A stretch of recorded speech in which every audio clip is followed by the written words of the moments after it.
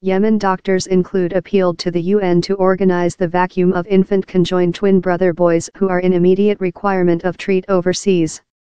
Abdul Khalek and Abdul Rahim, who are two weeks ancient, will not pull through if they remain in Yemen, wherever the public health framework has been devastated by year of civilian warfare.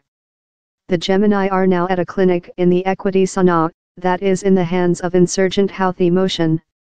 Its aeroport is blocked by a Saudi-led coalition supporting Yemen's by the government.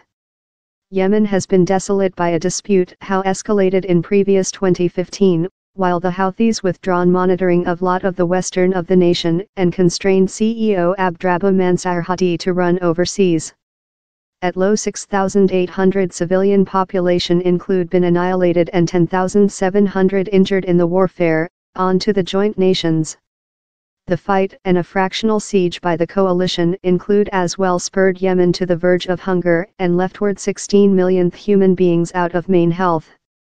Abdul Khalek and Abdul Rahim include individual heads, spines, lungs, hearts, and alimentary system, but stake a liver disease, as so as two kidneys, two legs and two weapon. The boy's requirement assist to breath our creature purified in an hatchery at Sana'a's Al Thora Clinic. Dr. Faisal Al-Babili, the clinic's chief of pediatrics, told his associate were incapable to conduct out main diagnostics tests, let one and transactions to individual them. They requirement to journey once.